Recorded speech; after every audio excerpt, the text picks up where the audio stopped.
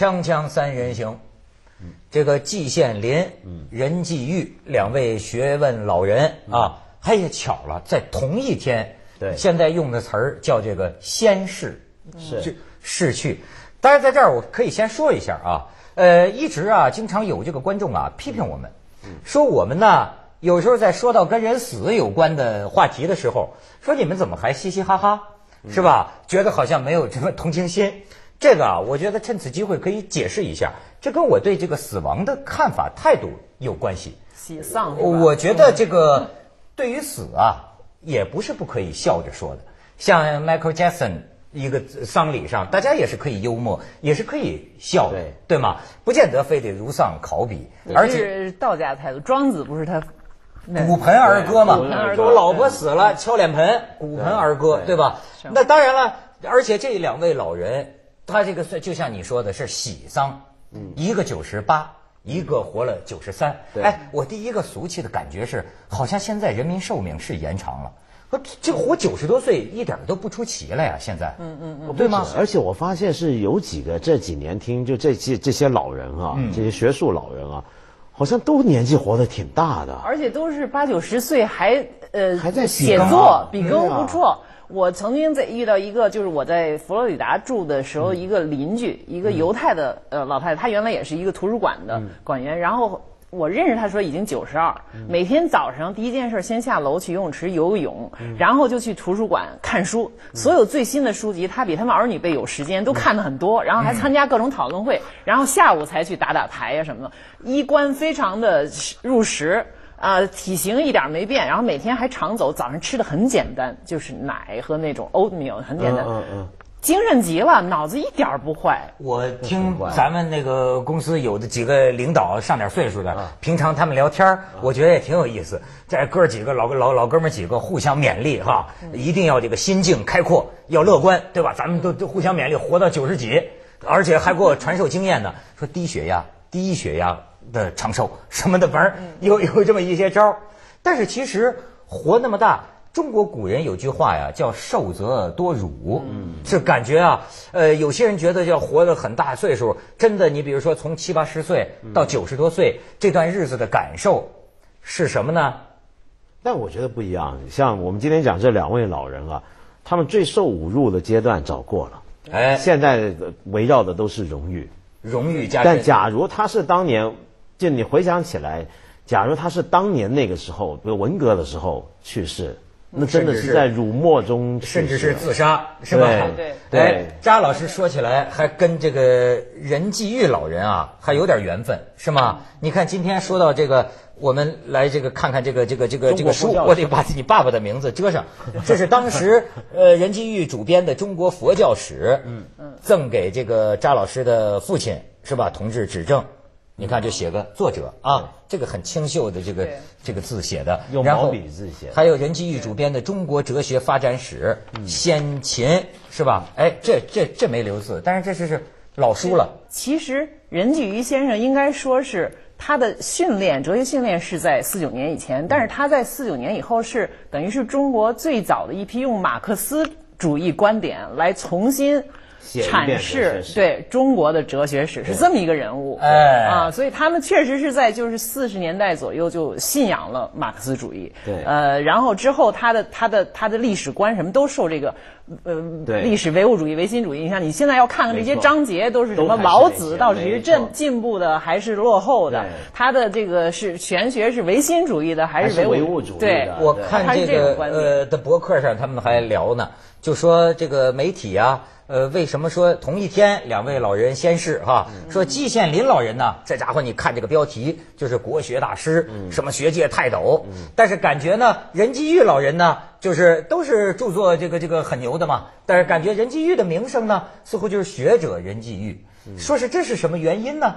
呃，这众说纷纭很多，但是我倒听到一个原因，就是说呀，这个像季羡林老人啊，他和他有些写的东西啊，是跟一般老百姓能够互相交通的，比如说牛棚杂役呀、或者是一些人生随感呐、就实际上他真正搞什么，我们哪儿的 有几个人能知道那？几种文字都是啊对，不过我的想法恰恰相反，我觉得，呃，任先生编的这些哲学史啊，是一般人比较能看懂的。其实，哦，季先生真的做学术那些东西啊，一般人是看不懂的。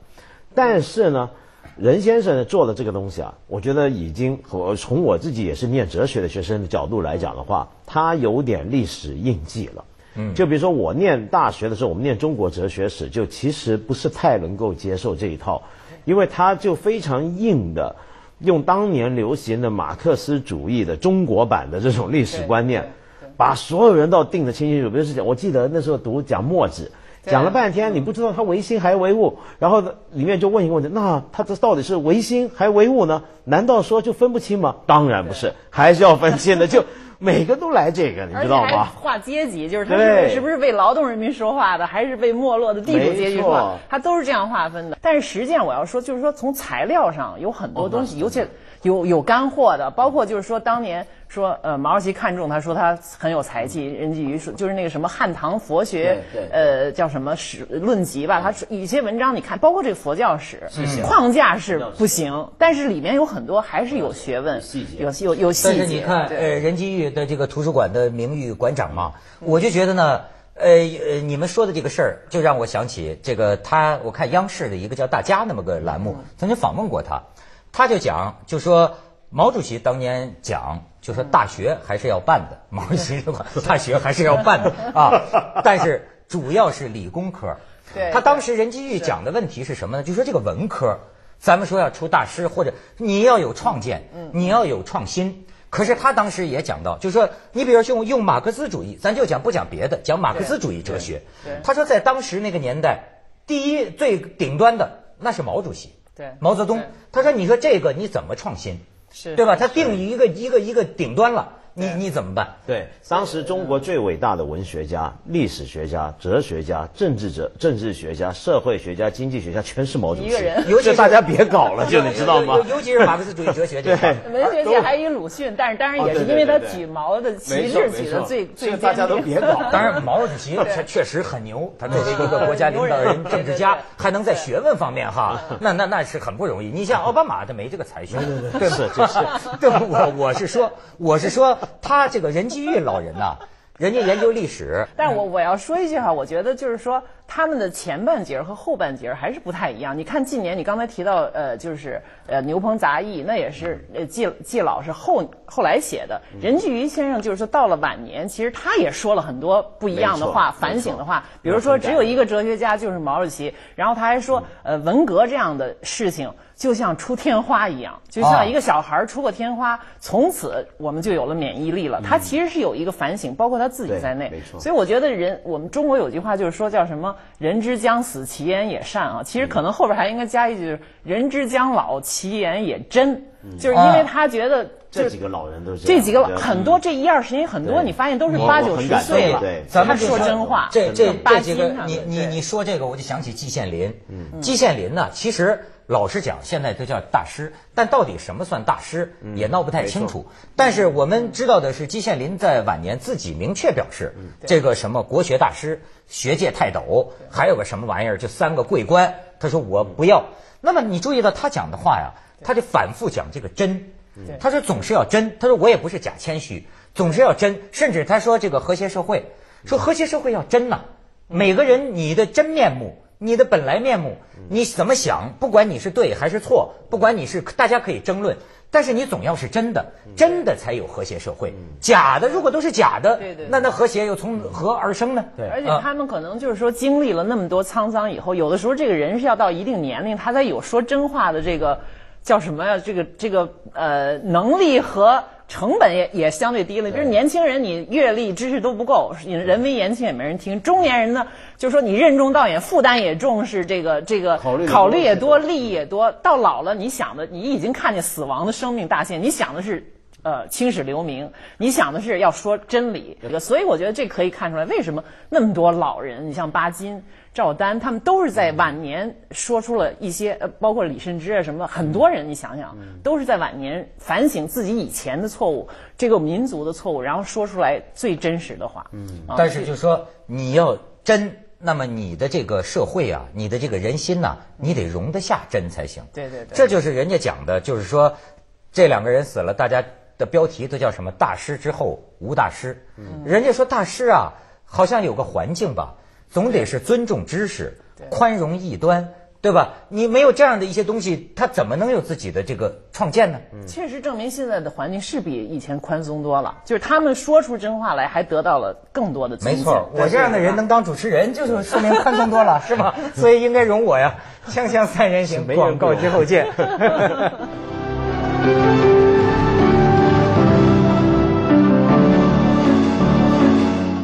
我看到这个一些评论说呀。就是从他们两个人的这个先世引起的这个聊是什么聊呢？就是说，大师之后以后没有大师了。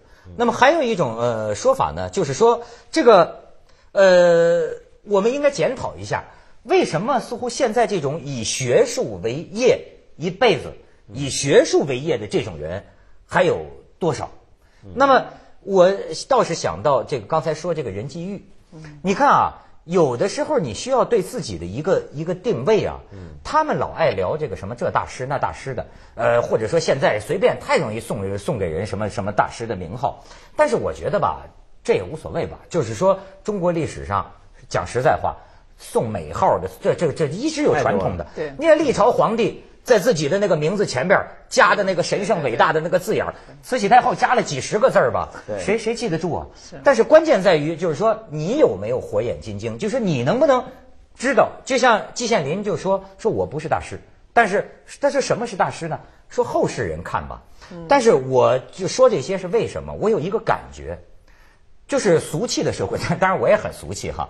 我就发现吧，太多的注意力集中在人上，就是说。这大师那大师好像都是人，可是你不要忘了，这些大师本人，他们是把他干的这个学术看得比他个人重要的多的。对，重要的是，你比如像我就说任继玉接受那个采访，他就说，当然他的一种理解，他说纵观历史，一般来说一个国家统一、经济繁荣之后，大约再过二三十年，必将会有一个文化勃兴时代。嗯，所以现在还没来。那个主持人就问他：“那现在你们这些学问者是干什么呢？”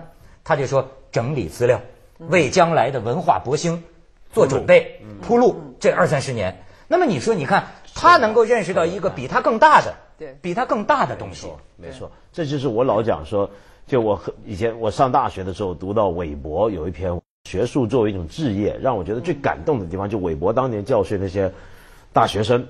他那个演讲讲什么？他说学术是干什么？学术呢，就是你一定要超越以前的人。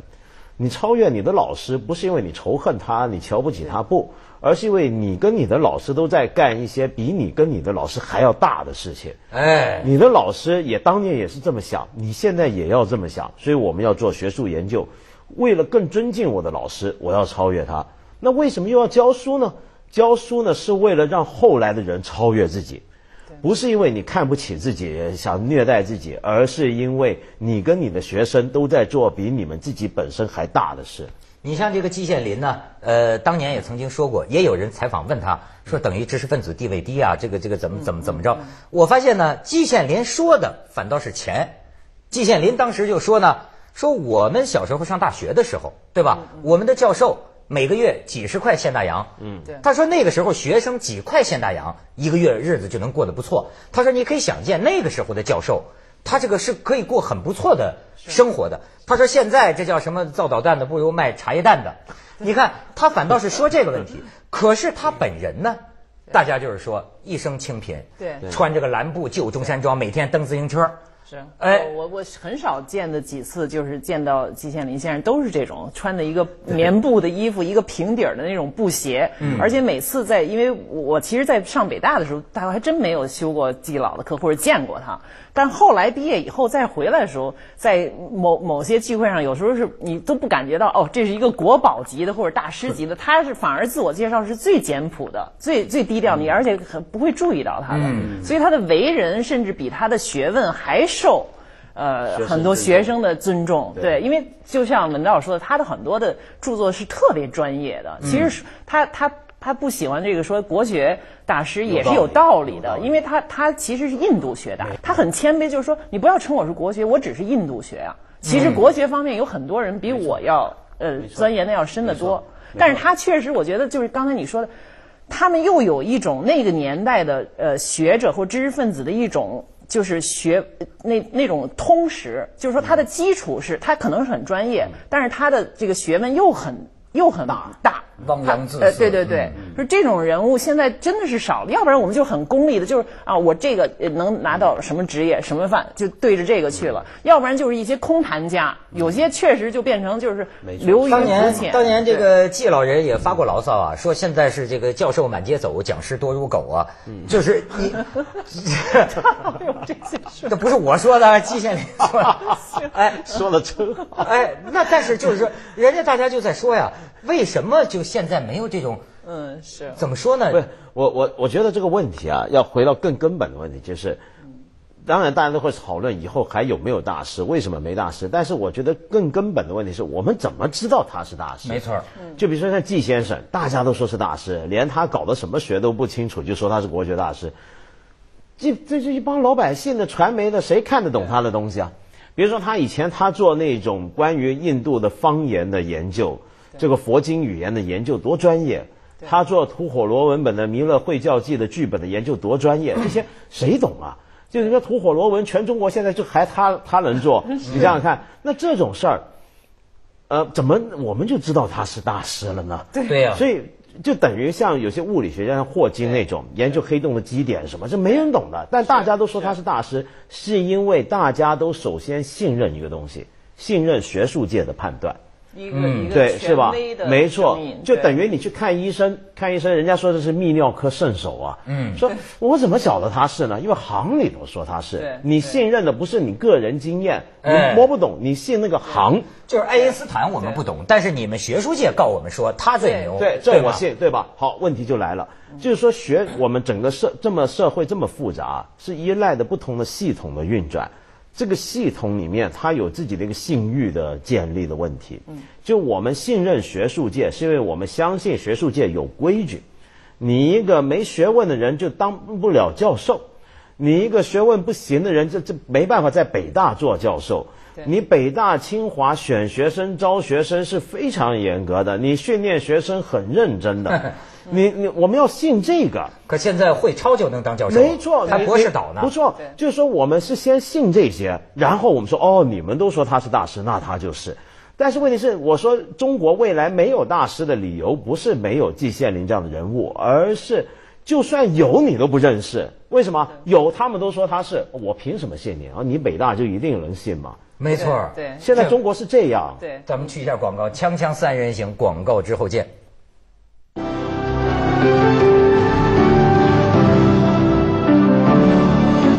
梁大师接着来，别别这样啊，这都是大师只有我们现在只有于大师。这个，我再跟你讲，你比如说，呃，我举一个例子，前阵子中国不是出了一个最年轻的市长嘛？那那个周市长呢，周森峰，他呢在清华上学。那后来呢，有人就说他在清华的论文涉嫌抄袭。那么当时呢，我还在节目里头说了一下。那结果呢，就有网友来回应，就说我这个说话太过分了，不应该拿这个指责他。说清华大学学生是很苦的，每天上课很紧张的，不抄袭哪行啊？就你想想看，这个已经变成这种程度对对。你如果把清华大学生抄袭，我相信这不是普遍现象。但假如大家容忍，你这个整个系统就完蛋。今天已经很完蛋了。坦白讲，我举个例子，比如说你你在哈佛、在芝加哥教书，如果一个教授，那就算他不是很厉害，但起码我们知道他不烂。对不对？他是有起码水平才上得了呢。嗯嗯嗯。就等于说，在欧美的那种大学的出版社，牛津大学出版社，它不一定是最好，但它不坏。你今天中国有这玩意儿吗？就是我能保证你清华教授一定很好吗？你北大出版社的书就一定行吗？难说这个。学术信誉的这个基础结构已经受到了严重的腐蚀和腐烂，甚至是，所以你而且的这种东西它。不不仅就是说不可信，它还在给给了这个大师专业的这种评语之后，还附加很多东西。没错比如我就想像季羡林这种，就是搞的这种所谓冷冷门的语言学家，其实确实是很难鉴定的，只有同行才能鉴。我在在美国就知道一些就是搞语言学的，因为这东西太，你像他说那个什么梵语的什么转音，他他有一个新的研究，这只有搞那个梵语的全世界几十个人懂啊说不定就就几十个人，据说在印度懂梵文的也只有什么一千多人，对嗯，所以你说只有这么少，然后你你把这个东西鉴定为他在这个专业里边已经是顶级的语言学家了。就我觉得在美国也是有这样，就是某某某芝加哥大学，它是一个在这方面做出独创性贡献的，但是也就到此为止了。大家都觉得哦，这很可信，但是我们偏偏在这儿，除这之外还要国宝什么学界泰斗，又附加一些很有这种就是说。公共政治性的这种名堂上去，所以这个帽子就是说，你本来基础已经就很可疑，然后你这个帽子还戴的特别高，所以其实的结果就使得人对整个这一套东西、这一套话语都彻底不行。你像那个时候，我就觉得，咱们就说陈寅恪，嗯，其实我很怀疑，到今天几个人还知道陈寅恪，或者说，即便知道，你知道他是干什么的，这就不管，是吧？对。这么牛的一个大学者，你说他当时他的这个信誉到什么程度？清华国学院那都是王国维、梁启超，嗯，但是梁启超向校长举荐这个陈寅恪，嗯，校长说他在外国游学多年，连个博士也没有啊，没学位的，嗯，但是梁启超就说什么，我著作等身呐、我著作等身都比不过陈先生三百个字，就就这么推荐他，哎，让他来。你是说那个时候大家公认的这种信誉，是吧？靠谁这个对在这个问题上是没有人给给给给你瞎瞎来的，对不对？对是。所以呢，而且这还这但这就依赖什么？就依赖当时你做学术是独立的。嗯，你看季先生说他生平佩服四个人：胡适、陈寅恪、马寅初，还有梁漱溟。共同特点都在于敢说真话，坚持学术的独立跟自主。你没有一个独立自主的学术研究机制，它就不可能有一个正常的信誉系统建立的起来。这就是还是那句老话，独立之精神，自由接下来为您播出走向对吧你搞2010学术搞学问，真是离不了这个，这是很很中肯的，你说是不是？说到根儿上去了。哎这就是啊，你你整个体制为什么会坏，就是因为它外面太多东西。